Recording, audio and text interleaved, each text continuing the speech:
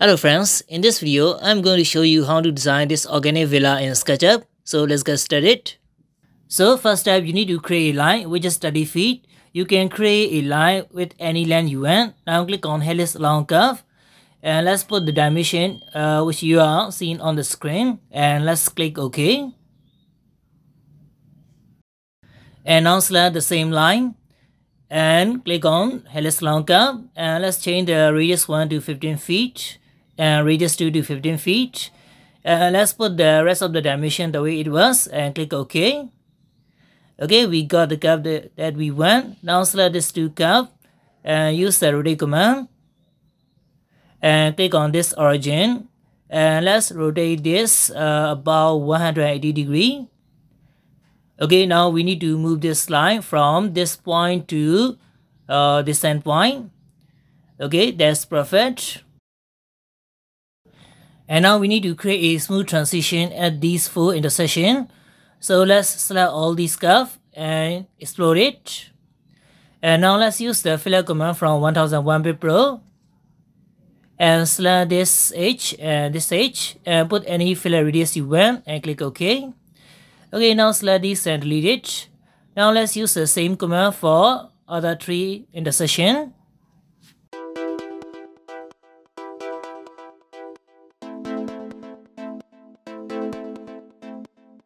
Now select this curve, triple click on it and right click and choose weld to join it. And select this one more time and right click and choose bezier convert to polyline divider and put any interval you want. I'm going to put about 12 inch and click OK. Now let's do the same to the other curve.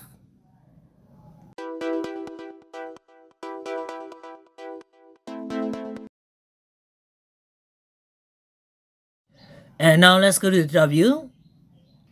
Now let's use the line command and let's create a line from this edge to this edge. You can create anywhere you want.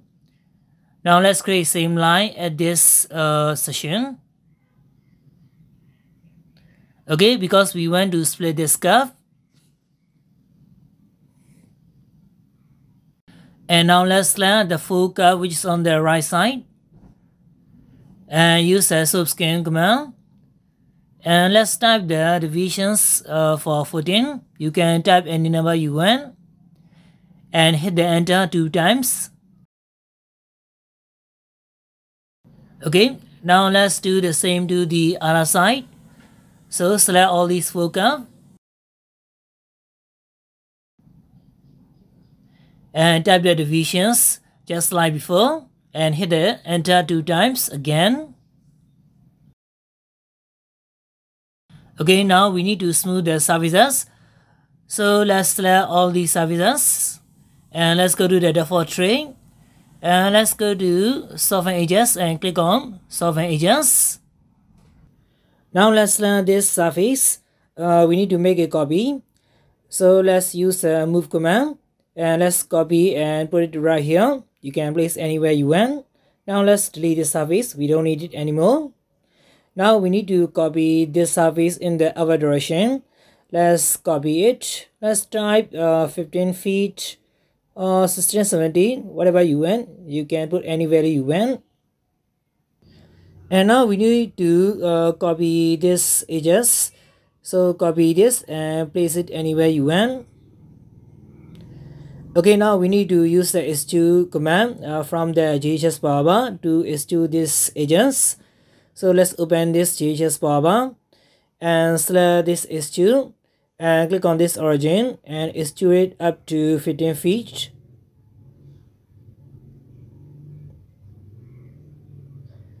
Okay now let's do the same to the other edges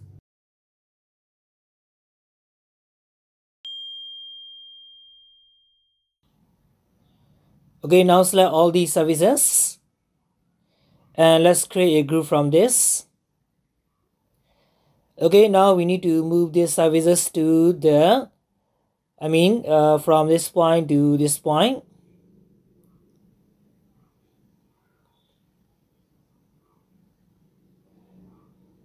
Okay that's look great. Now let's move this all edges to their origin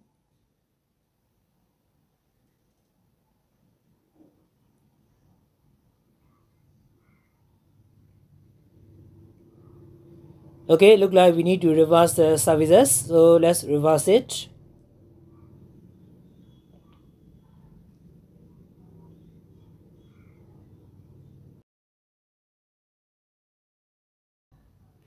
Now select this edge and this vertical reference line which is on the origin.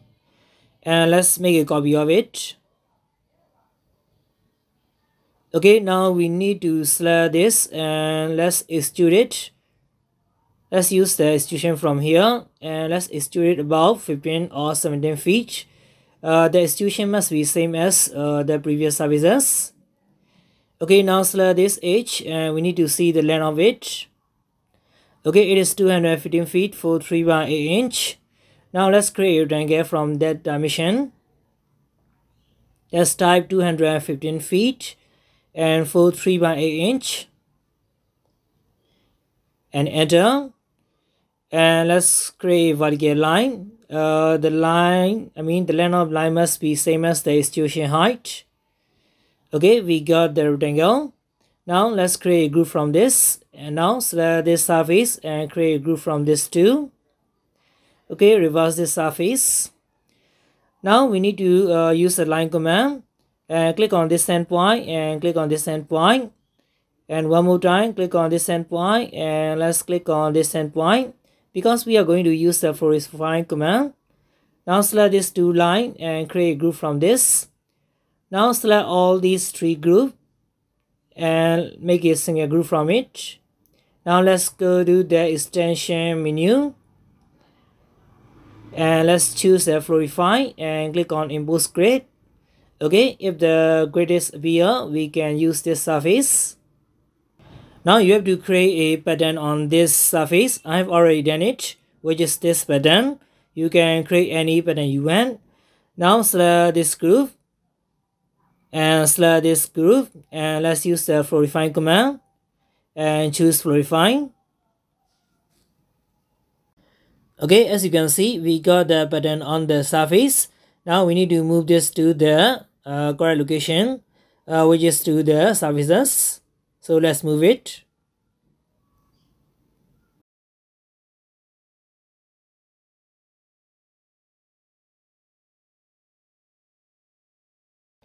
Okay now we need to copy another edges. So let's select this edge. And we need to select the reference line too. And let's make a copy from it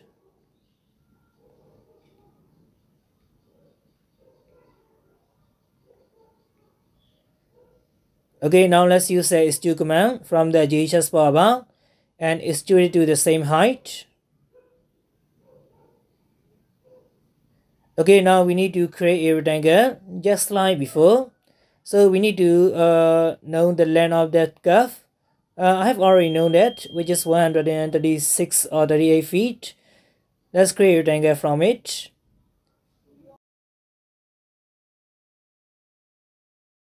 Okay we got the rectangle let's create a group from this. Okay let me show you the length of this curve uh, which is 136 feet. So create a group from this surface. Now let's use the line command and connect this endpoint. This point to this point. And let's create a line from this point to this point. Now let's create a group from this two line okay now select all these three groups and make a single group. Now let's go to the extension choose Flowify and choose impose grid.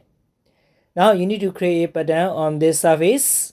Okay as you can see i have already created that pattern and i also created a group from that. Now select this group and select the previous group.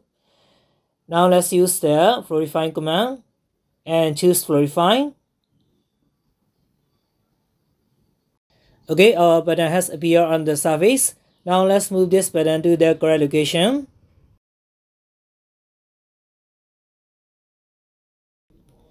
Okay, we got it. So let's see the result. Okay, look like it is perfect.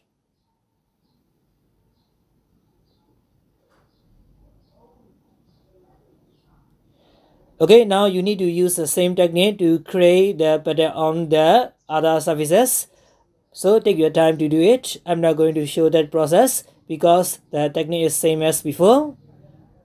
Well, as you can see, I have created all the pattern on the surfaces by using the same technique and by using the same command, which is Flowify. I hope you got the same result. Now let's go to the top view and we need to offset this surface. So let's use the offset command from the tool on surface command. Okay, let's click on this surface and let's offset this uh, about 4 feet. You can offset any amount you want.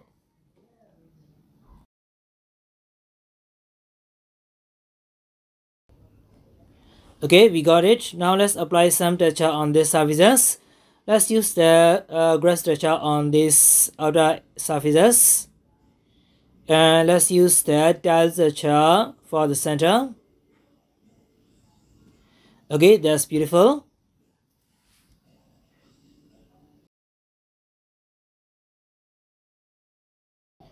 Okay, now we need to uh, move this whole model in the Z direction. So let's use the move command. And let's move it about uh, 20 feet. Okay, now let's go to the top view. And you need to create this 2D sketch from the top view.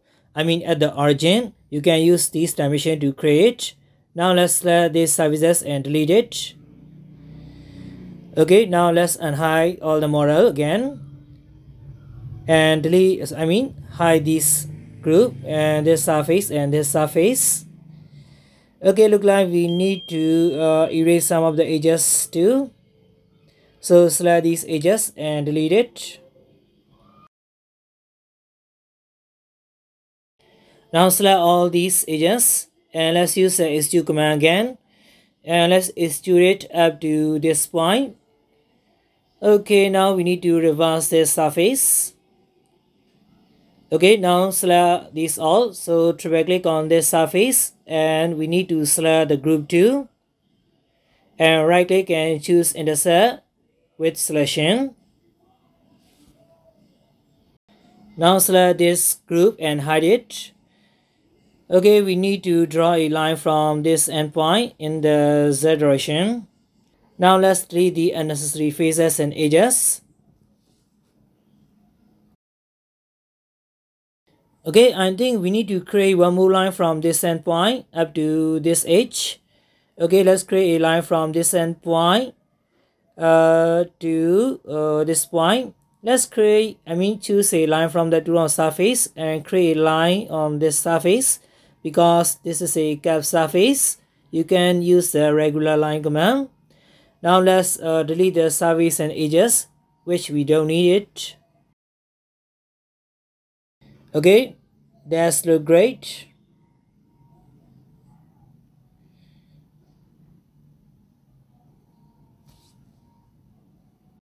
Okay let's hide the model above these services. Okay now we need to copy these services. So let's use the move command and click on this space point and create a copy and place it right here. And let's create one more copy and place it anywhere you want okay now we need to create a frame from these services. So let's unsmooth these services. Uh, use the soften edges and move the slider the way to the left.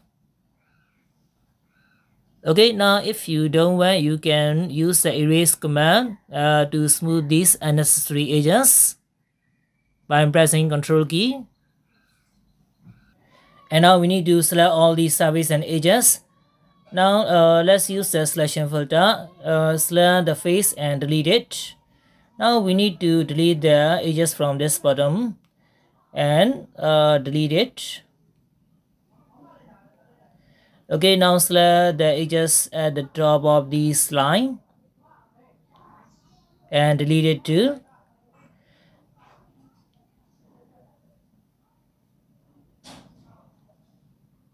Okay now let's use the profile builder command. Uh, click here. And use the profile any profile you want. And let's type the width and height 5 inch and click here. Okay. Okay now select all these column i mean profile. Okay let's create a group from this.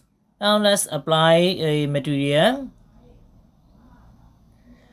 Okay now we need to move this all to the origin and place it right here. Now let's create another horizontal frame. Select all these edges at the bottom. Uh, we need to create an array from this. So move it uh, place it right here by pressing ctrl key. And let's type 7 divided. You can create any amount array you want. Okay now we need to delete the unnecessary edges. So take your time to do it now select all the surface and edges okay we need to use the selection filter again. Click on this surface and delete it.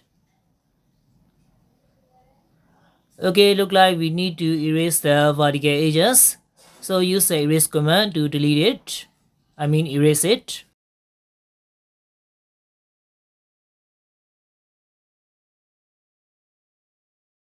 Now let's select all these horizontal edges and let's use the profile builder tree and click here. Okay, now let's use the same dimension as before, which is 5 inch and click on this tool, I mean command. Okay, we got all the frame that we need. Now select all these frame. Okay, deselect this line and create a group from this. Okay, now let's apply the black material on it. Oops uh, I need to apply the black material so let's take a sample from this material and apply on this. Okay now we need to move this to the origin. So select it and use a move command to move it and place it right at this origin. Okay for the last time uh, we need to apply the glass texture on this surface. So select it and use the glass texture and apply on it okay that's good. Now let's unhide all the model.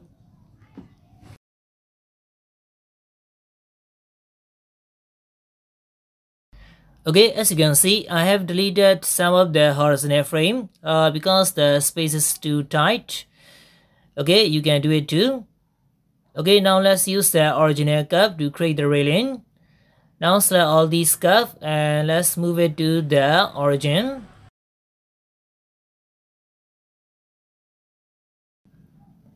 And now let's move it in the Z direction.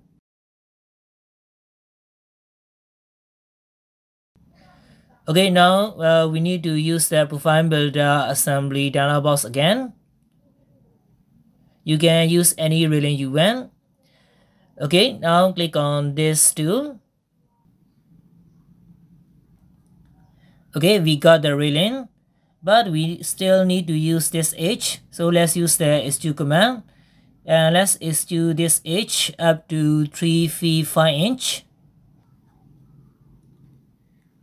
Okay now we need to apply the glass texture on this surface. So select it and use the glass texture and apply it. Okay now you need to use the same technique to create a railing on the other edge. So take your time to do it okay as you can see i have created the required railing now select all these railing and let's move it to the top edge of this model.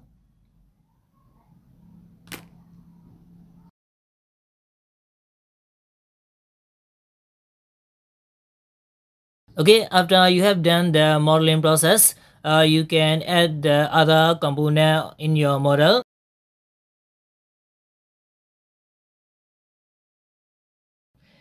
and you can also add some landscape on in your model. So take your time to make it more realistic look. Okay guys that's all. If you like this video please leave a like and subscribe my channel. And see you in the next tutorial